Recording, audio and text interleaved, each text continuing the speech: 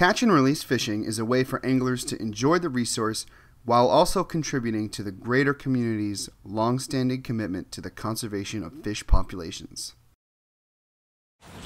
Catch and release fishing is incredibly important to the local economies of many parts of Florida and today one of the most popular groups of species for catch and release is actually sharks and this is probably because these animals put up a great fight they're often very large and exciting and it's a very thrilling experience to catch and see a huge predator in the wild. We've seen a drastic change in how people are interacting with these species in recreational fisheries. 20, 30 years ago, the mentality was a catch and kill uh, practice where people would bring these huge animals back to the dock for everybody to show off. Whereas today, we're seeing a lot of tournaments and a lot of charter boats actually switching to more of a catch and release mentality. This is a great thing because this actually will relieve some of the pressure on some of these threatened populations. In catch and release, the angler acts as their own manager. It is up to them to act in a way that minimizes impacts on the animals. To better understand these impacts, researchers have been teaming up with recreational anglers. Recent work from the University of Miami has shown that many species of sharks captured in recreational fisheries here in Florida respond in different ways to the process of capture and release.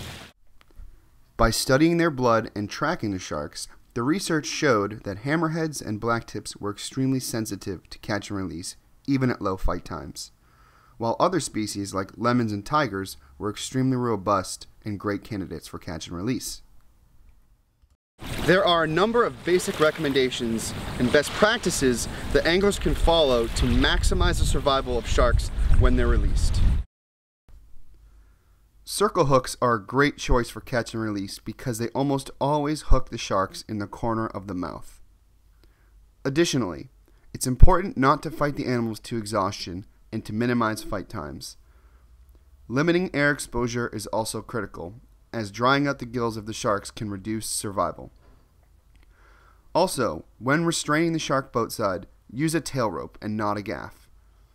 If you do hook a sensitive species, like a hammerhead, you must be swift and ready to act quickly. And lastly, take notes, be safe, and refine your practices. By following these basic recommendations, shark populations may have a chance to recover and the sharks themselves will live to fight another day.